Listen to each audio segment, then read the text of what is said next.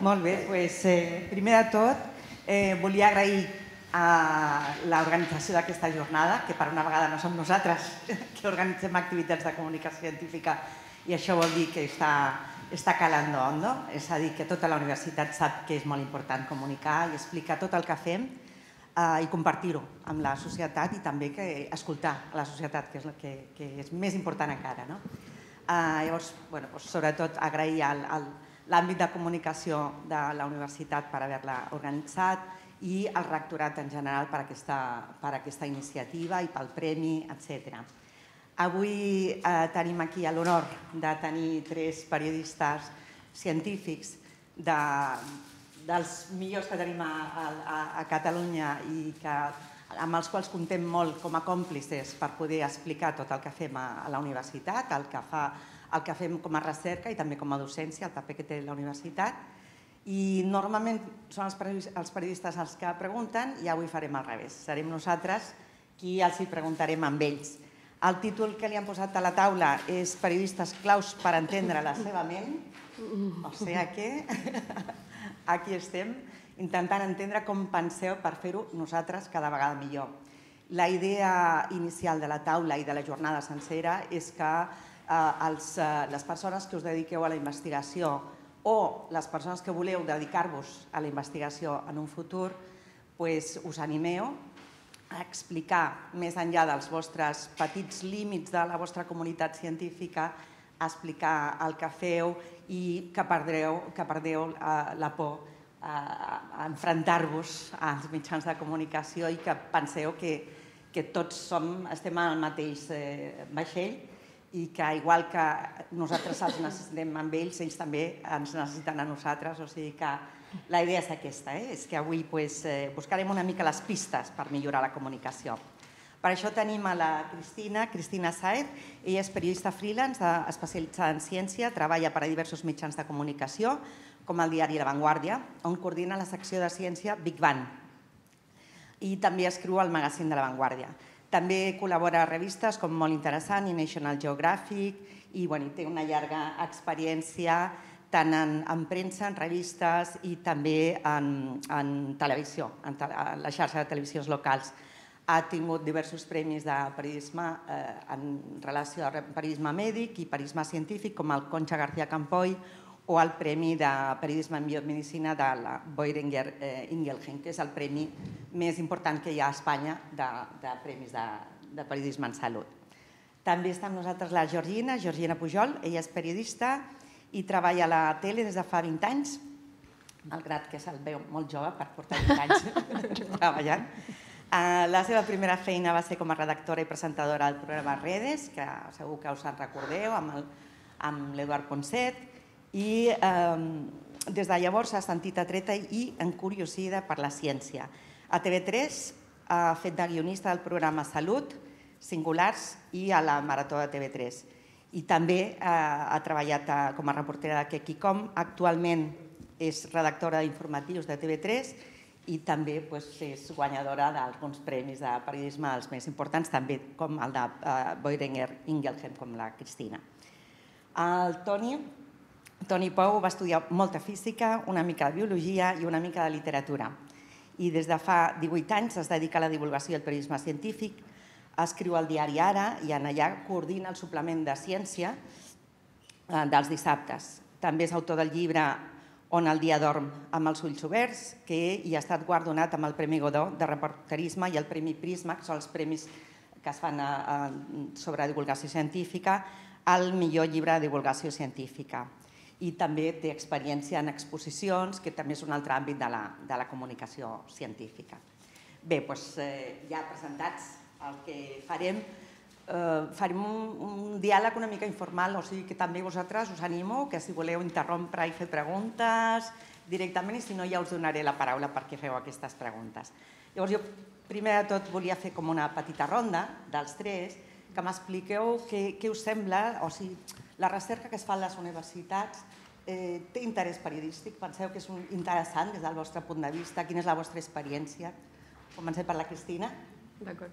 Doncs sí, clar, és una font molt valuosa de, de, de, de notícies no? de les quals ens nodrim els mitjans.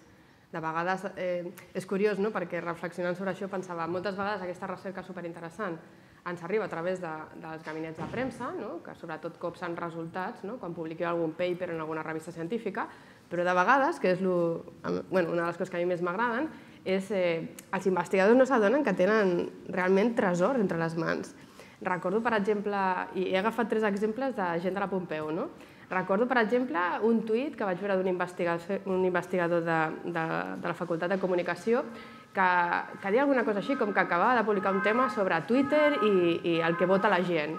I era com, què? En un moment que estàvem, bueno, una, no, una nova vegada més, en preeleccions.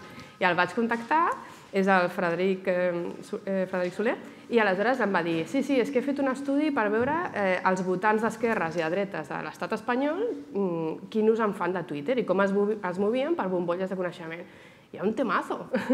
I això pues, el gabinet de premsa no ens havia fet arribar, no? Suposo que també hi ha filtres, després ens explicaràs que... Doncs ho vam publicar a Política i va arrasar, no? I va ser com molt xulo. Un altre exemple, no? el Ricard, Ricard Soler, que segur que els que veniu de la part de biologia el coneixeu. Doncs aquest també, per Twitter, eh, jo és que soc molt twittera, vaig veure que, que tenia una conversa amb un altre científic que parlava de, de molècules, de bactèries transgèniques que feia servir per pal·liar el canvi climàtic. Era com, què és això, Ricard? El vaig contactar i aleshores també em va explicar mira, és que hem fet eh, un estudi amb bactèries transgèniques que podria ser que no que atura el canvi climàtic en, el, en els ecosistemes, però sí que pal·lia els efectes, els efectes de la desertització. Ostres, doncs a mi em va semblar que era un tema boníssim encara que no tingués resultats tangibles. No? I aleshores, perquè moltes vegades no és interessant només el resultat, des del meu punt de vista, sinó també la història que hi ha al darrere de la investigació i de vegades els propis investigadors. No? Fa poc vam entrevistar a La Vanguardia una noia que es diu Mariona Badenas, que té 24 anys, i l'interessant no és el que ha fet, perquè encara no ha fet res, però quan tenia 15 va conèixer la Sara Seeger, superastrofísica, la va convidar a l'MIT, amb 15 anys, va estar amb ella investigant, després la Universitat de Yale la va becar perquè va veure que era superastrofísica, ara es torna a estar a l'MIT, o sigui, de vegades també és xula la història que teniu al darrere els investigadors, que és fascinant i no ens l'expliqueu. Per això a mi m'agrada quan els entrevisto dir, vale, però a tu què t'ha portat a estudiar això? Què tens al darrere? Explica'm una mica la teva ànima, no? O sigui, per què investigues això? Per què portes 20 anys estudiant això? Què és el que et motiva no? per, bueno, per fer això? O sigui que sí, són una font brutal de coneixement i, i de, de històries molt xules per explicar. Moltíssimes gràcies. Bueno, veiem que les notícies poden arribar també per no, llocs, que també és, això és interessant. Georgina, de cara a la televisió, penses que eh, hi ha alguna cosa específica que... que... Sí, bueno, el que deia la Cristina, que té molta raó, clar, nosaltres som narradors d'històries, busquem històries, llavors una història personal, que a més a més pots aprendre coses, és fantàstica. En el meu cas, per això, que treballo en un mitjà generalista com és TV3, és més difícil vendre notícies. O sigui, eh, el que és important és calibrar si allò eh, tindrà un impacte en la societat i quines aplicacions o usos pot tenir.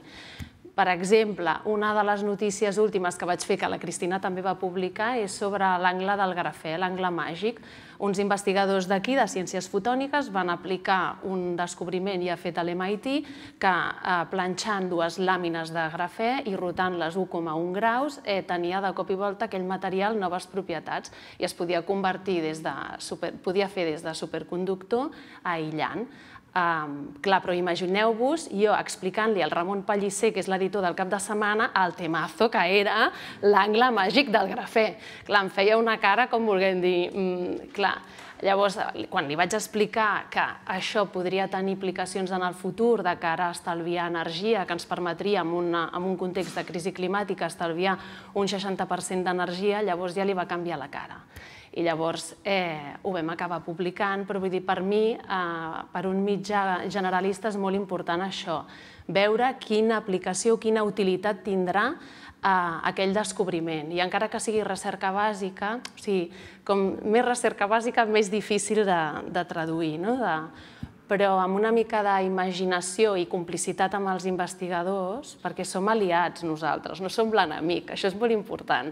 Llavors, us heu d'assegurar bé que els periodistes entenguin eh, el que esteu explicant i ells us ajudaran, perquè nosaltres ens dediquem a traduir eh, per la resta de gent el que vosaltres esteu fent, amb un llenguatge de mortals.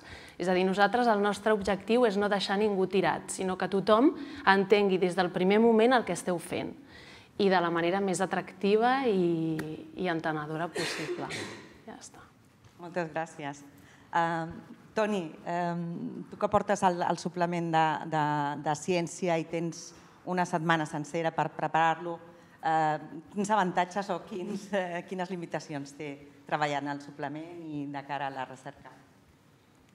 Bueno, com, com deien la, la Cristina i la Georgina, eh, és evident que el que feu en general a les universitats és molt interessant i, i és interessant per a la societat i per tant a nosaltres ens interessa molt saber-ho per poder-ho explicar. No? I per, per no repetir-me més del, del que ja han dit, eh, a vegades també, i perquè tingueu una idea de què ens pot interessar de vosaltres també, no? a part del que feu i dels resultats concrets que, que teniu, també ens interessa el vostre coneixement.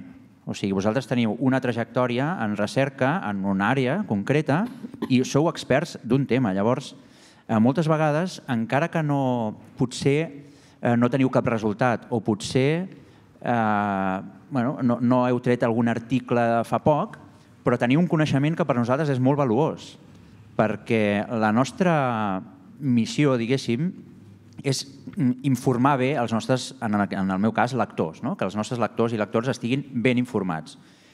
I, i la, aquesta, diguem aquesta tasca d'informar bé passa per explicar eh, resultats científics, però també posar-los en context i eh, eh, proporcionar algunes valoracions per part d'experts, perquè, clar, eh, moltes vegades es fan articles en els quals s'explica un resultat i, i es diu, i l'investigador que ho ha fet diu que això és la món de l'Ironda, no? Bueno, clar, ho ha fet ell, què t'ha de dir, no? Llavors, a nosaltres ens és molt útil també tenir una xarxa de contactes d'experts que a vegades ens serveixen per valorar el treball d'altres eh, científics i posar-lo una mica en context. No? I això heu de pensar que també és una cosa molt útil per nosaltres, que ho necessitem en aquest sentit. No? I, i llavors per això us, eh, us convido, us, us encoratjo a, a estar en contacte molt amb el Departament de Comunicació perquè sap qui, pot saber també quins temes ens interessen. I a més, eh, si vosaltres veieu que hi ha alguna cosa, algun tema de molta actualitat en el qual vosaltres sou experts, doncs eh, us convido a, a contactar directament amb nosaltres o a través del Departament de Comunicació per dir, ei, aquest, en aquest tema nosaltres som experts, en sabem, necessiteu alguna cosa o pensem que tal, tal, tal, i això no s'està dient i és important. I, I nosaltres, això a nosaltres ens va molt bé. De fet, nosaltres fem aquesta feina eh, de buscar experts contínuament, però a nosaltres ens, ja ens va molt bé si, si, si els investigadors i les investigadores sou proactius en aquest sentit. Això ens va superbé perquè, ja us dic, no només ens interessa el, els resultats que teniu, sinó també la vostra expertesa, el vostre coneixement. No? Eh, no sé si, si heu vist, ara em ve al cap la, la sèrie de Newsroom, que és una sèrie molt bona, sobre periodisme, molt idealista també, però bueno, és molt interessant. Allà diuen que el periodisme és donar fets més eh, al context d'experts. No? Llavors, en aquest sentit, això encaixa molt bé amb el que, amb el que estic dient. Us necessitem tant per la investigació que feu com pel vostre coneixement. O sigui que, eh, torno a dir que us encoratjo a que proactivament ens, ens contacteu per, per intercanviar aquest coneixement i que nosaltres el puguem transmetre. Puc afegir una cosa en aquesta línia? No? I a més heu de pensar, clar, jo ara estic a informatius, la informació és molt ràpida, Twitter, eh, el, els diaris, la premsa, tal. Llavors, aquest punt d'algú que et pugui aportar reflexió, o sigui, i aquesta altra mirada com més profunda també és molt útil, no? Perquè s'agraeix molt dins de tot aquest mar de, de, de titulars aturar-te un moment i que et facin pensar, et donen la notícia més això.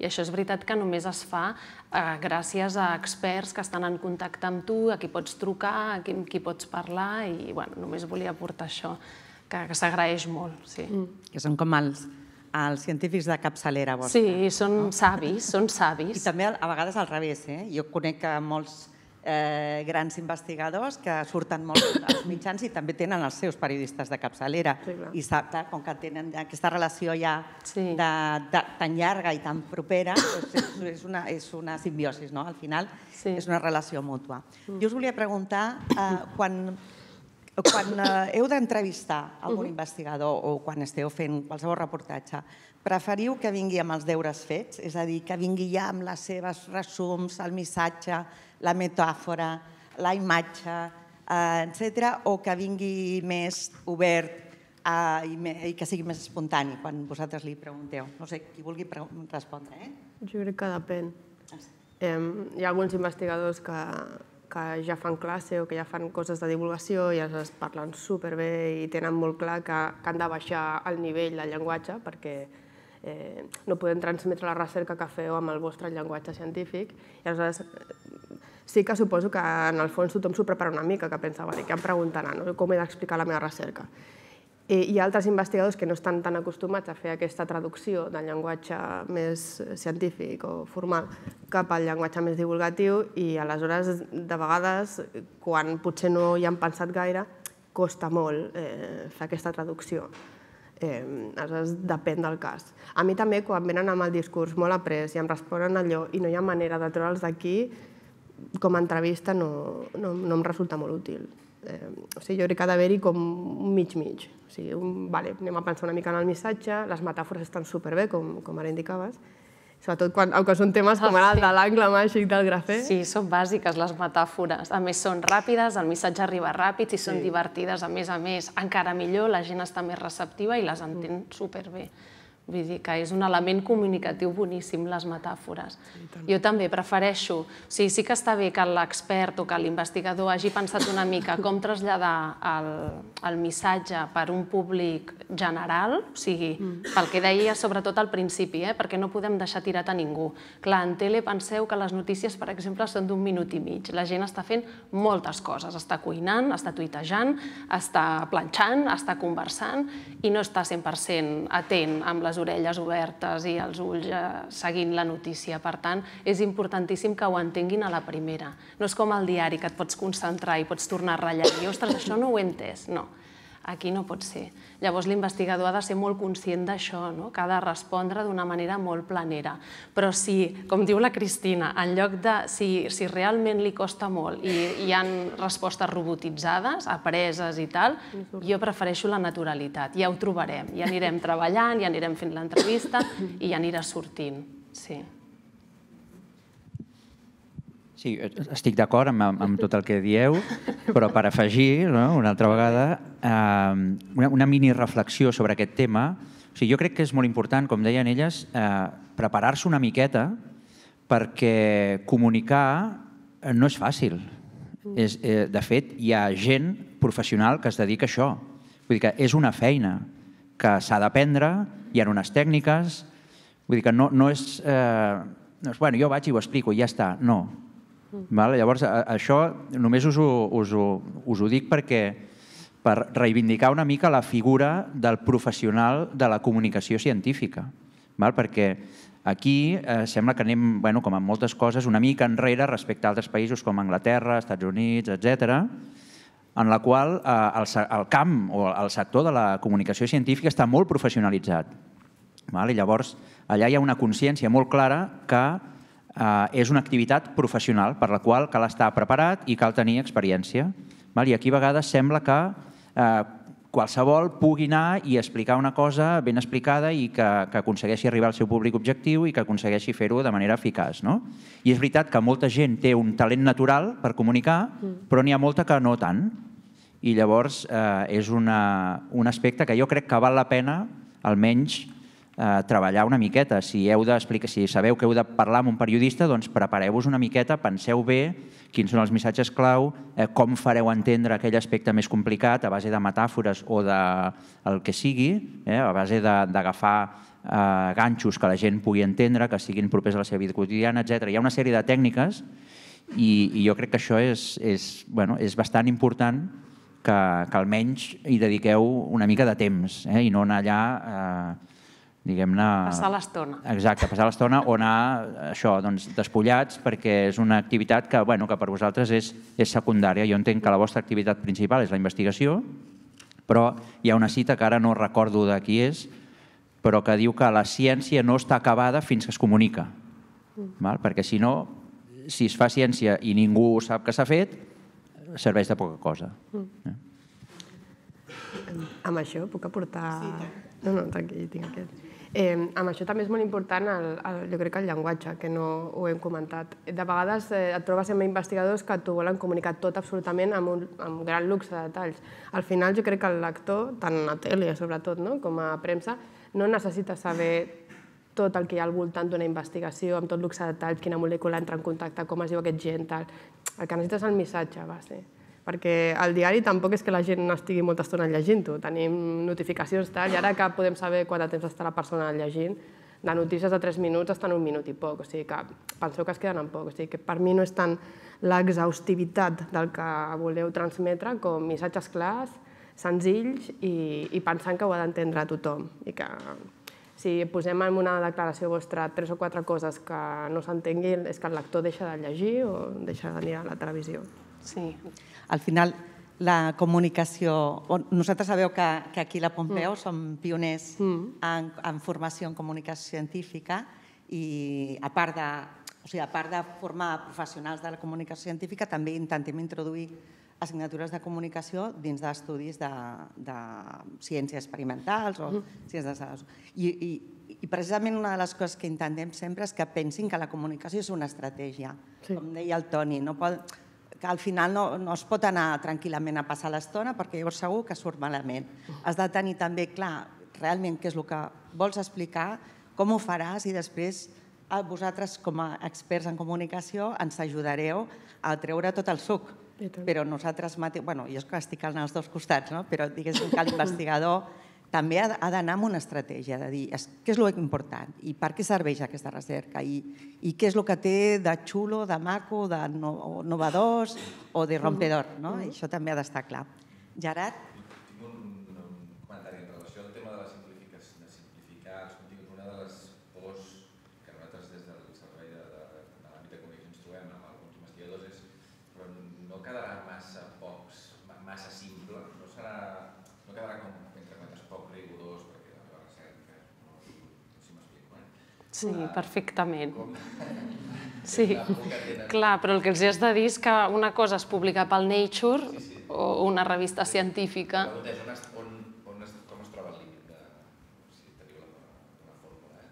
Bueno, bàsicament és, és això, no? que, que o sigui, ho ha d'entendre tothom. O sigui, per exemple, a TV3 el públic és gran, és de gent gran.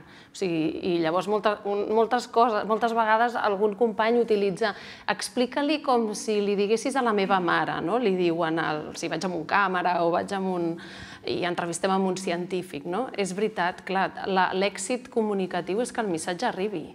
O sigui, i com deia la Cristina, és que els detalls és que són igual els detalls, és que és un minut i mig, és que és un titular, per l'amor de Déu, no? Mm. O tres minuts en el, en el, en el diari. Eh, s'ha de tenir molt clar el que s'ha de prioritzar i sobretot això, si has aconseguit comunicar-ho, és entretingut i a sobre la gent pot aprendre una cosa nova, una idea, dos idees, tres màxim, perfecte. Amb això, no sé si a tu et va passar la teva al, al punt 7, eh, una de les, poques, de les coses que vaig aprendre d'ell, sempre deia, que al principi no ho vaig entendre, i quan vaig acabar així, era heu d'explicar de, coses que la gent pugui fer servir a, a, com a anècdota en un sopar. Si aconseguiu això, heu triomfat, no? Sí, o sigui, és allò que li explicaràs als teus amics, hòstia, he llegit això a l'avantguàrdia, o he mirat això a TV3. Allò és èxit, i això no és la molècula tal que... No, clar, això ja és una tesi, no? Ja t'has de llegir el llibre sencer.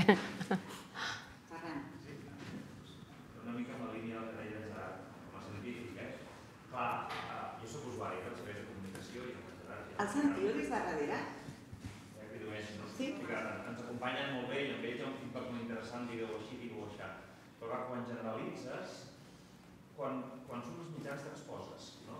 Mm. I si generalitzes molt, pots faltar la veritat. I això ens fa pànic als científics, no? Perquè també ens apuntem entre nosaltres, no? I mira què, què està dient aquí, que no ens hem d'així. Llavors, a vegades ens costa molt trobar un missatge clar, sobretot com pensant en clar, possibles aplicacions que són biomèdiques aleshores, suposo que enteneu la por que tenim a generalitzar per no faltar la veritat, perquè altres ja sé que és millor un titular descobert això que dir sembla que hem descobert això, no? perquè l'article hi ha tots els possibles no?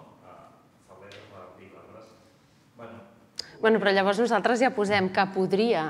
Sí, clar, sí. però clar, però a la tele, amb un públic generalista, que m'ha molt com explicar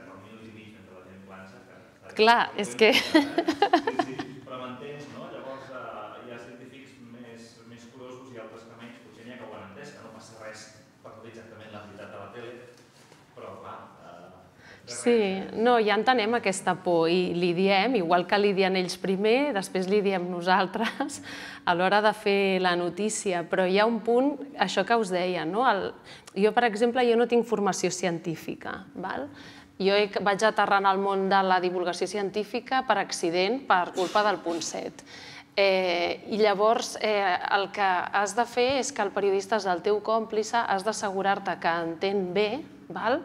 El, que, el que has descobert i a partir d'aquí sou un equip. I després et diré un altre secret, és que encara que ho fem els periodistes superbé, vale? després es publica allò, s'emet el vídeo i la gent entén el que vol. Vale? O sigui, aquí ja no podem fer-hi res. O sigui, tu has d'intentar que el periodista sigui rigorós, però també baixant el nivell i entenent que ho ha d'entendre tothom i deixar els teus col·legues, mira, a part. Saps el que et vull dir? Els teus col·legues científics, perquè no és una publicació científica saps? sinó que és una publicació perquè ho pugui entendre tothom i perquè el que tu estàs investigant arribi al, al públic general. Llavors, el que pensin els científics, eh, mira, escolta'm, ja ho debatreu en una... La por a la precisió, al rigor, i la por als col·legues. No? Sí. I aquesta dels col·legues, quan parlem amb el públic, quan parlem amb els mitjans, ens hem d'oblidar els col·legues. Sí. Totalment, ens hem d'oblidar, totalment, sí, sí. Perquè, a més, jo crec que cal assumir que divulgar és, és simplificar. I simplificar és renunciar a continguts, a matisos, a complexitat, a detalls, etc. Però és que si no és impossible comunicar. Llavors eh, s'ha d'assumir això, és una, és una comunicació evidentment limitada. No, la gent no és científica, no té aquesta formació per entendre amb tot luxe de detall el, tots els papers que es publiquen al món, ni falta que els hi fa. Llavors, eh, jo crec que és una cosa que s'ha d'assumir i també heu d'intentar eh, com fer-vos forts i tenir confiança en el missatge que esteu transmetent i que si els vostres col·legues ho valoren de manera negativa, doncs pitjor per ells, diguéssim. Ells han de valorar els vostres papers científics, eh, no això. A- a- Aquest missatge que esteu transmetent en una entrevista o en, un, en el que sigui, en una intervenció, aquest missatge l'hauria de valorar la gent a qui va adreçat, si ho entén o no, i en tot cas ho haurien de valorar els professionals de la comunicació, que deia abans. Eh? I, I després un, volia fer un matís eh, respecte a això que heu dit, que és veritat que s'han de transmetre missatges que tothom pugui entendre, que siguin simplificats i amb els punts més importants d'impacte social, etc. Però també és veritat que jo per poder transmetre aquests missatges i poder elaborar-los necessito, almenys jo, això és una cosa potser molt personal, eh? no sé, ja, ja ho direu després vosaltres, necessito entendre bé, amb, amb bastant detall, el que vosaltres esteu fent. Val? Llavors, eh, jo a vegades faig preguntes molt concretes, val? encara que després no ho faci servir, però a mi em serveix per fer-me la meva imatge mental i després poder explicar-ho bé. Amb la vostra ajuda, si ja teniu metàfores pensades, teniu una manera ja pensada de com explicar-ho. Però llavors, eh, a vegades també passa que quan jo parlo amb algun científic entrem en bastant de detall i després això no surt a l'article. Llavors em diuen, ostres, hem, hem parlat aquí mitja hora i surten dues frases. D'acord, però és que a mi m'ha servit per entendre-ho i llavors he pogut elaborar tot l'article. Val? I, i, I us poso un exemple molt concret de, de l'altre dia mateix, que parlava amb una, amb una investigadora i em deia clar, sobre les tempestes solars, no? ara que es llença d'aquí uns dies la, la Solar Orbiter, aquesta sonda que anirà a explorar els, els, sobretot els pols del, del Sol. No? I em deia, la, les, les tempestes solars eh, poden afectar les comunicacions, poden afectar la xarxa elèctrica, poden afectar eh, els conductes de, de gas que hi ha a les altes latituds. I, I podia haver escrit això i ja està. Però jo pensava, bueno, però com? Com afecten? O sigui, què són les tempestes aquestes solars i, i com afecten una tuberia de gas? Vull dir, jo si dic, les tempestes solars poden malmetre les tuberies de gas, la gent, és, no sé, no sé si se'n recordaran d'això perquè no, no hi veig la relació directa. No? Llavors, entrar una mica en el detall de, de com es produeix això, o almenys quin tipus de desperfecte poden causar, i jo crec que almenys a mi em serveix per entendre-ho i després poder explicar-ho millor. No? En aquest cas era perquè bueno, les tempestes aquestes són unes partícules carregades que generen uns corrents induïts, no sé, una cosa molt complexa, però al final es cremen les tuberies o es cremen els transformadors. Val, diguem que es cremen, perquè cremar no és el mateix que malmetre. Vale? O és, és un cas particular, és més detallat. Llavors jo, a vegades, necessito arribar a un grau de detall que potser després no el faig servir exactament igual, però em serveix molt per elaborar la informació i fer-la comprensible, diguéssim. Eh?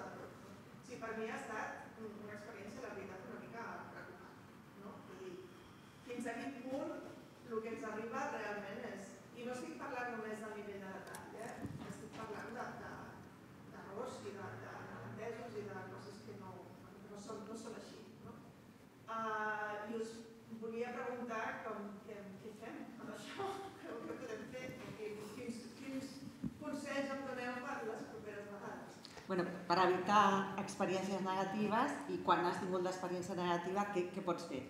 Bueno, esperem que això no sigui la, la tònica general.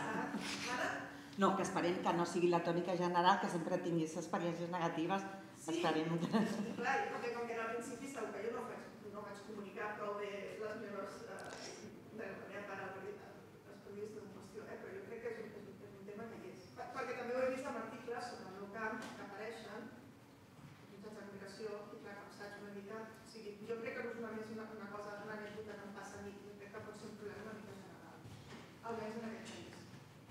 Sí. Bueno, sí, és que bueno, jo mateixa a mi em van entrevistar un gran periodista de La Vanguardia perquè vaig escriure un llibre sobre aborígens australians i quan vaig veure el titular quasi em caïc de cul a terra, saps? Vull dir que jo també he viscut això i entenc el que dius perfectament.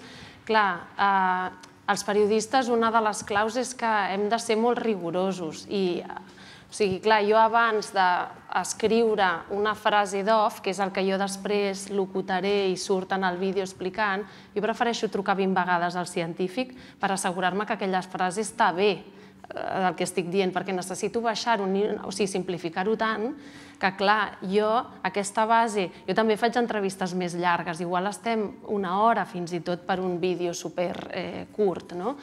Però que no és el més òptim però, però a nivell de temps, però clar, a vegades és necessari. Però no ho sé quina vacuna, quin antídot hi ha en això. Assegurar-te que el periodista ho ha entès. O sigui, intentar fer-li preguntes tu, també, saps? De, per veure si realment ha entès. I això com ho, encap, com ho titularàs o com ho, per, per on ho vols encapçalar? Perquè saps el que et vull dir? O sigui, pregunta-li, assegura-te'n que t'ha entès Clar, jo no crec que sigui mala voluntat, sinó que és una cosa de dir potser aquella persona anava molt ràpid, no tenia ni idea i s'ha posat allà i ha sortit del pas com ha pogut. Però això... Jo crec que hi ha, així en general, dues possibilitats. Una és que, d'alguna manera, es, anem a dir, tergiversi, tot i que és una paraula que no m'agrada, la informació per buscar un titular amb ganxo o per fer un article més potent, perquè avui sabem que tot depèn dels clics, etc etc. Això és una opció. I l'altra, que crec que és el que passa la majoria de vegades en aquests casos, és que simplement doncs, eh, hi ha errors eh, derivats potser del fet que igual no ho ha entès prou bé tot.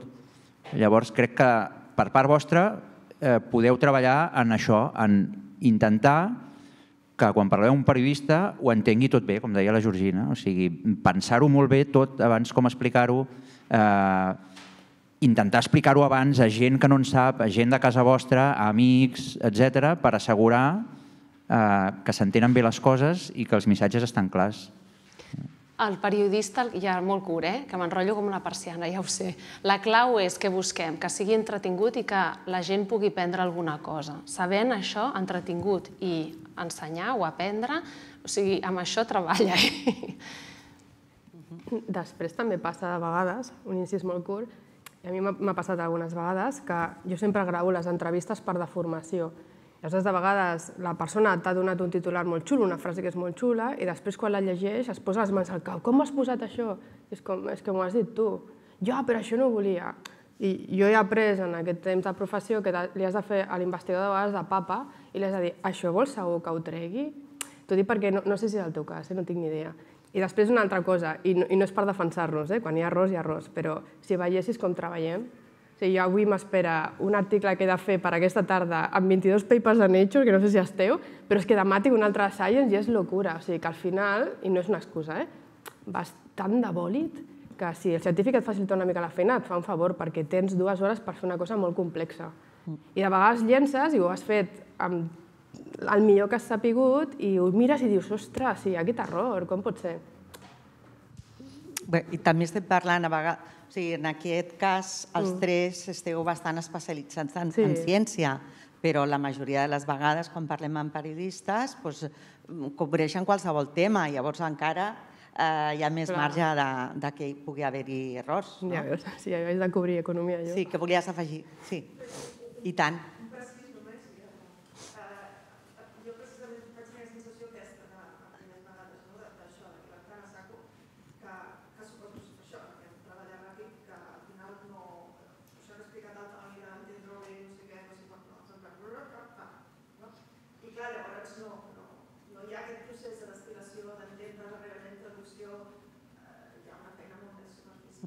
Però això també té, perdó, eh?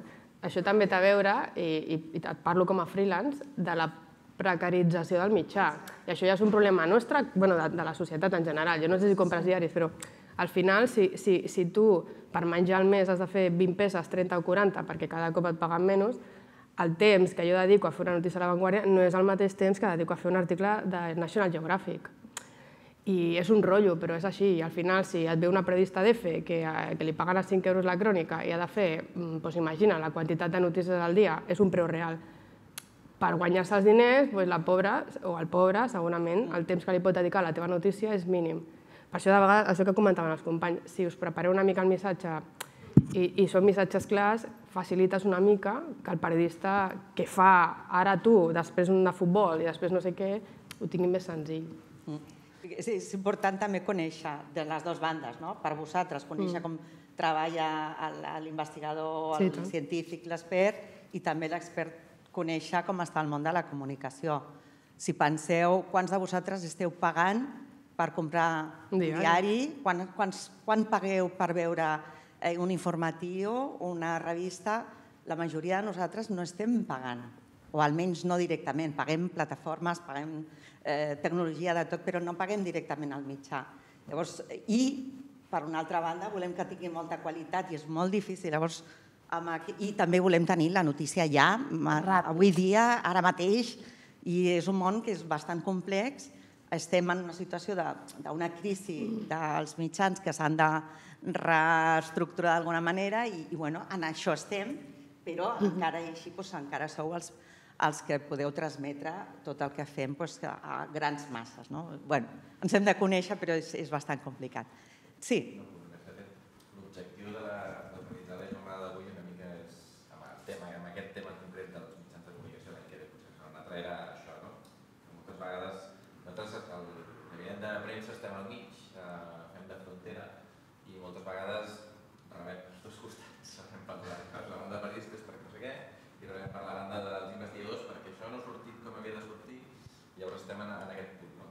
Um, des, a la segona part de la, de la jornada us presentarem una petita guia que hem elaborat que, que vam de, de la línia de conec, que els investigadors coneguin una mica com treballen els periodistes i que, per això, i que entenguin una mica més uh, com afrontar el contacte amb, amb, amb el sector i ajudar en aquesta línia que recull, jo que recull bastant una mica el que esteu... Uh -huh. Jo, jo tenia una pregunta... Ah, sí, mira, per aquí, mira, perfecte. No, un tema que em penseu, i també no? tu vegades acabar d'entendre si aquella frase és certa. No? El fet de tu dir-li, no envies abans de publicar i et dono no? Passaria, evitaria el que. No hi ha temps.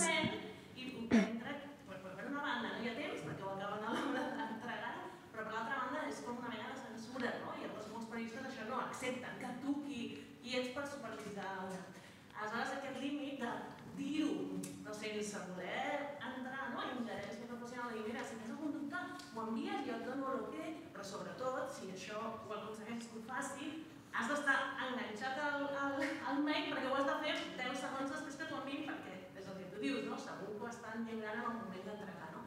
Però això sí que solucionaria molts d'aquests mals entesos i, i hem de veure una manera que no ho vegin com això, com una censura i ser molt ràpids a l'hora de contestar. No? Un, un truc, sí. Sí, sí, o sigui, quan, quan heu de pensar que el dia a dia d'un periodista és, és, és, en fi, no sé quina paraula dir, però és una voràgine, Estressant. vale? és estressant, és una Sí, voràgine, és, és, sí. vas de bòlit, tot el dia corrents. Llavors, eh, és molt important, i això els gabinets de comunicació ja ho sabeu, que quan us demanem algú sigui ràpid, no? i els científics també, que, que si heu parlat amb un periodista i, i ens dieu si tens qualsevol dubte, aquí estic. Vale, però llavors que no t'hagi de trucar 10 vegades i no et pugui localitzar, perquè llavors no em serveix. I em sap greu dir-ho així, però és la realitat. Eh? I l'altra cosa sobre la censura és un tema molt interessant perquè jo diria que eh, entre el 70 i el 80% de la gent amb qui parlo em demanen que els hi passi l'article abans de publicar-lo. Vale? I, bueno, en principi no passaria res, es podria fer, però és una ingerència, com tu dius, i és una... eh, Si ens posem molt dramàtics, podria vulnerar la llibertat de premsa d'alguna manera. Vosaltres us imagineu un polític demanant passa'm l'article? Bueno, segurament passa això, eh? Però us sembla bé que passi, no? Exacte. Us, us sembla bé que passi, no? Vull dir, mm, el periodista té dret a fer l'enfocament que ell cregui interessant pels seus lectors d'aquella notícia i potser no és el mateix enfocament que el científic eh, faria. Això també és una cosa que s'ha d'assumir com a investigador o com a investigadora, que el periodista té la llibertat d'enfocar la notícia com cregui que és més interessant pels seus lectors, òbviament sense faltar la veritat, amb rigor, etc etc. I a vegades això passa, eh? Ostres, aquest enfocament... Mmm, bueno, potser hi ha enfocaments que són una mica més crítics amb aquella línia de recerca, potser hi ha enfocaments que, que van més a l'impacte social que té aquella línia de recerca i no tant a la base científica que a vosaltres segurament us, us sembla la- potser la part més interessant, no? Llavors, eh, això és una reflexió molt interessant a fer, també, jo crec. Eh? I a part de- i a part d'això, o sigui, no només hi ha la part ètica, sinó que tu imagina't que envies un text que tu has escrit perquè duri 20 segons, o 30 segons, o 40 segons, l'envies al científic i et comença a fer correccions amb paraules tècniques, allargant les frases, és que no, clar, és a que... posar No, comes, que- incisos Sí, i, Sí, no, no, clar, nosaltres eh, treballem, som professionals de la comunicació i hi ha un punt que heu de confiar. O sigui, hi ha un punt que heu de confiar. A vegades surt bé, a vegades surt malament, també passa amb els nòvios i les nòvies, no? Doncs pues és el mateix. Sí, no. Periodistes ho faran millor que altres o quins diu, bueno, jo aquest quan em no li faig cas perquè m'ha transversat 10 vegades. Sí, també. No? Llavors s'acaba passant aquesta relació. Mm, I al revés. No, ah, en relació al que s'està parlant, jo, jo crec que el que estem apuntant és que som un tàndem. Eh, és un tàndem, és a dir, que d'alguna manera no és que us estiguem fent un favor.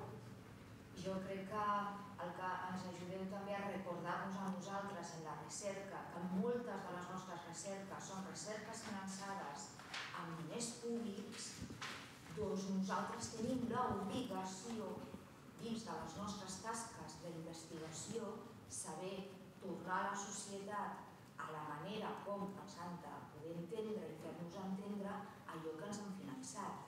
Llavors, aquesta paraula clau que m'ha semblat fantàstica. no? Nosaltres investiguem i ens parlem entre nosaltres en aquesta...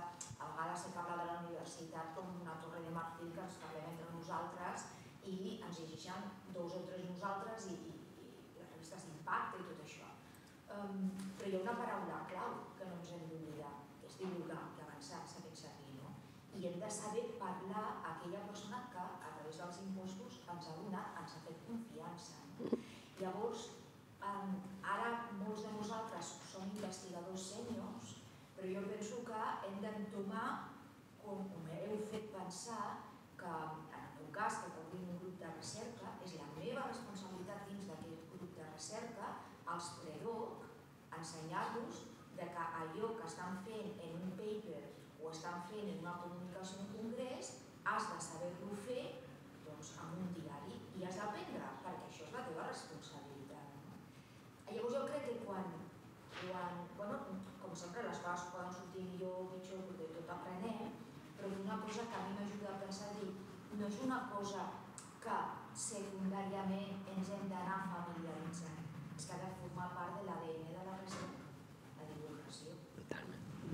Mm. Bueno, I en aquest sentit m'he fet pensar que necessito eines no, per, per, per ensenyar i per reflexionar dins del grup de recerca que això ha de formar part. Ha de formar part. És part de, de la pròpia feina dintre de la universitat, no només en recerca, sinó pel propi coneixement no? que tenim i que això ho, ho hem de transmetre perquè és... és... A partir de que nosaltres ho incorporem com a ADN, Uh -huh. serem més capaços de defensar-lo, i així ja parlo ja a, a, a nosaltres per nosaltres, serem més capaços de defensar que això formi part també de les acreditacions.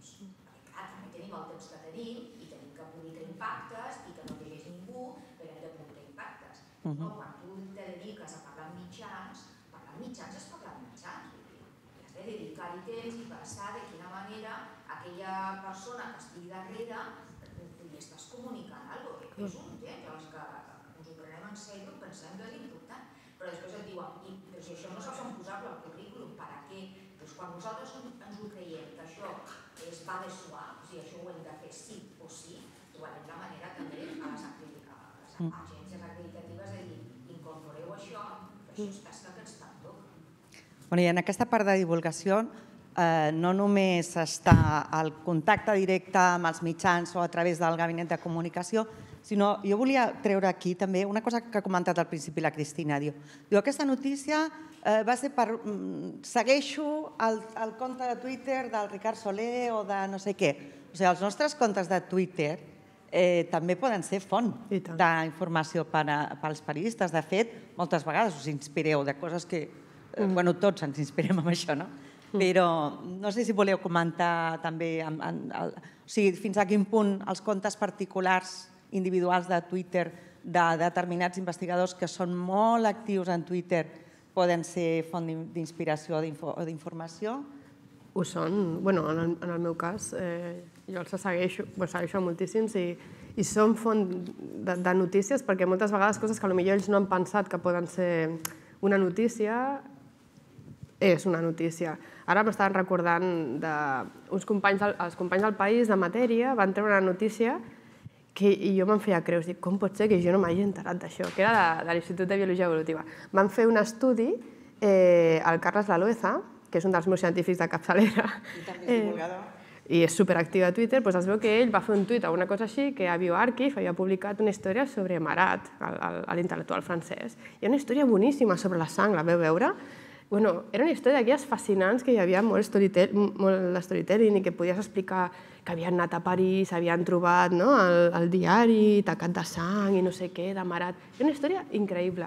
I quan ho vaig veure, me'n recordo que vaig pensar, però Carles, com no m'ho has dit a mi?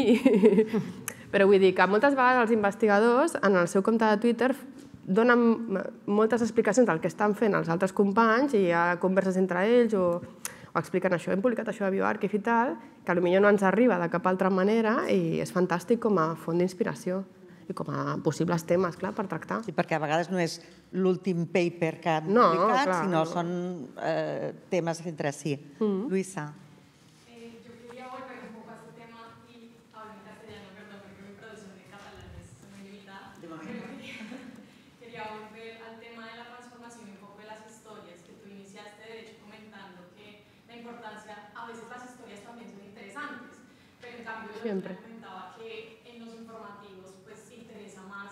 resultado, ¿no? Depende, no. También explicamos historias en los informativos, claro, sí. Lo que pasa es que es más corto, o sea, es, el tiempo es limitado. Pero claro, a todo el mundo nos gusta conocer historias, ¿no? O sea, el storytelling tradicional nos engancha a todos, claro. Claro,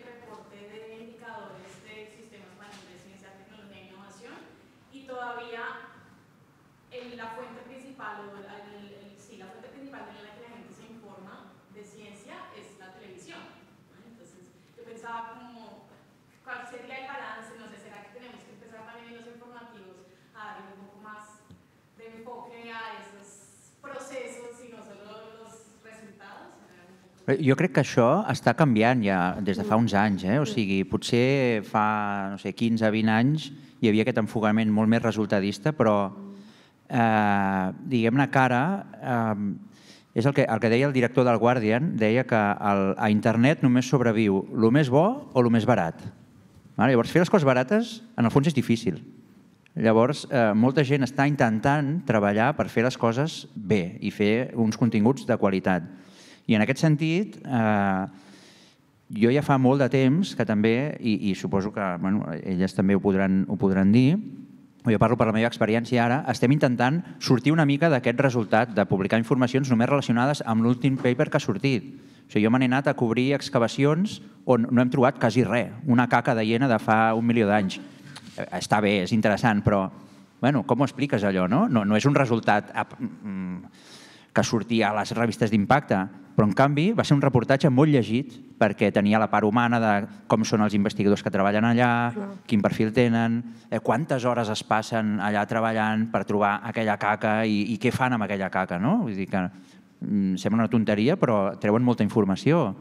Eh, en fi, vull dir que jo crec que això està canviant, està canviant bastant dins del periodisme científic, eh? perquè s'està tendint més a intentar generar uns continguts de molta qualitat i aquí, quan generes continguts de qualitat, ja no són aquells continguts purament informatius, en què dones una informació molt concreta, A, B, C, pam, pam, pam, sinó que s'intenta buscar més una estructura de, d'una- amb un estil més narratiu i més d'explicar una història, ja sigui relacionada amb els investigadors, relacionada amb aquell camp del coneixement, amb la història d'aquell camp del coneixement, o fins i tot, si t'ho pots permetre, tens temps i recursos i ganes, eh, relacionada amb la teva experiència com a periodista que intenta aproximar-se a uns científics i explica la seva experiència, eh, bueno, acompanyar aquells científics a, en una excavació o en un vaixell o, o en una expedició nocturna dins d'una cova a veure quins animals hi ha allà dintre. Jo crec que això està, estem anant cap aquí, diria. Eh? En tele és una mica més complicat, això, perquè requereix com molts recursos eh, d'equip tècnic i tal. Jo això sí que volia fer una reflexió de que a vegades m'he trobat, per exemple, que jo he volgut fer un estudi, fer un reportatge sobre un estudi científic, per exemple, un del Creal, i no l'he pogut fer perquè fins que no hi hagi els resultats, la farmacèutica o els propis investigadors no volen que ho gravem. I dius, però per què? Però sí, és, la història és fantàstica, igual després el resultat doncs, no ha sortit bé, però és el que diu ell, però no ens deixen. Moltes vegades no ens deixen fer a l'estudi, el seguiment de l'estudi, quan és valuosíssim a nivell de històries personals i de processos i de... Clar, perquè a vegades si, si estan, clar, si estan si esperant a publicar-ho no poden o fer si hi ha, sí, volen, o si el volen publicar. no volen que surti fins que no hi hagin els resultats per assegurar-se que quan surti doncs, sigui perquè ha tingut èxit. Mm. Ningú vol una història d'un fracàs. No, però és que fins i tot la pròpia revista, si tu publiques una revista, la revista no et deixa que ho hagis fet públic abans. O sigui, és un compromís que tu tens en la revista. Tu has de jurar que no ho has fet públic. O sigui, Clar, però encara que no ho facis públic fins al final, Sí. tu has de poder tenir accés en aquest seguiment, perquè llavors canvia el valor del producte que estàs fent. Eh, en- Aquí també està molt bé. I a més també és en la línia de tot l'open science i de, Sí, i tant. està molt, jo crec que amb això també es, estem canviant una miqueta de mentalitat, fins i tot perquè ens ho imposen, no? que hem de compartir amb Sí, sí. arxius en obert i hauríem de- d'incloure també el seguiment mediàtic en obert. eh, encara que sigui per publicar-ho després, no? Com deia. Sí, sí, encara Molt que hi hagi una clàusula després. Dic una paraula en el fons, després aquí, i ja anirem... Sí, Manel. Us volia agrair la, la sessió, estan sortint qüestions molt, interessants i més eh, crec que la feina que feu. És que són molt bons, els tres.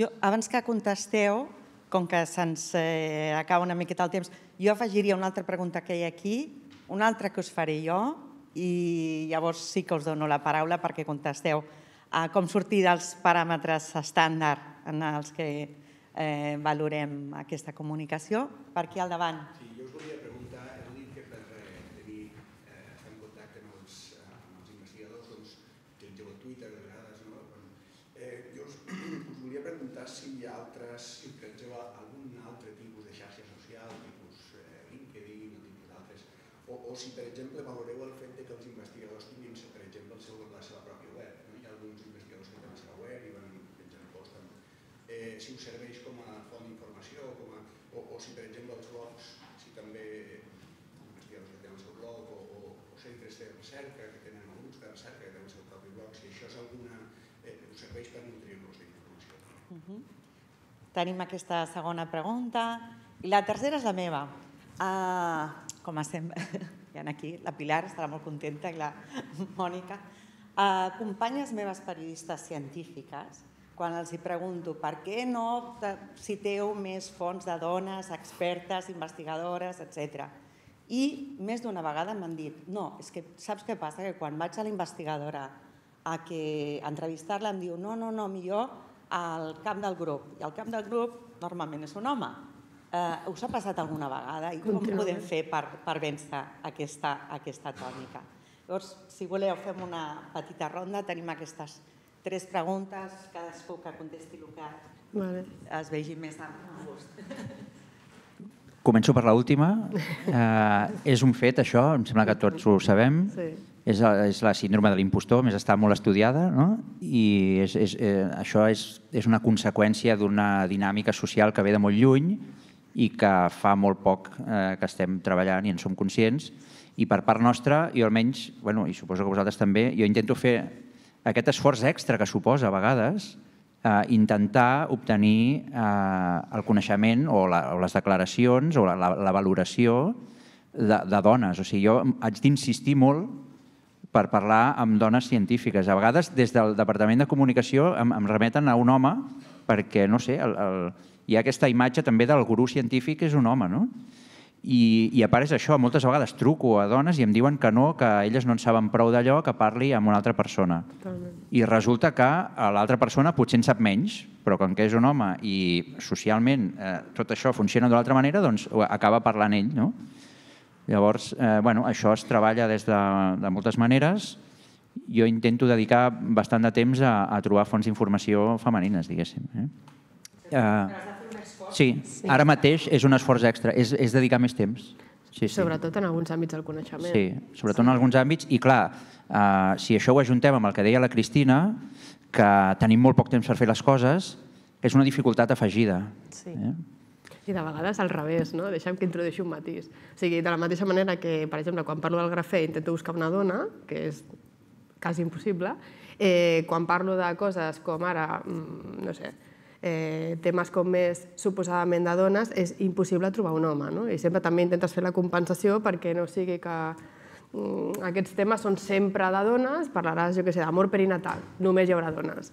Parlaràs de física quàntica, només hi haurà tios. O sigui, és molt difícil intentar trencar aquesta mena de, de estereotips en ciència de què fan els homes i què investiguen les dones. Sí, jo l'última vegada que m'ha passat, jo he de dir que no faig prou l'esforç de vegades pel temps. O sigui, ho intento, però si no em surt, eh, passo.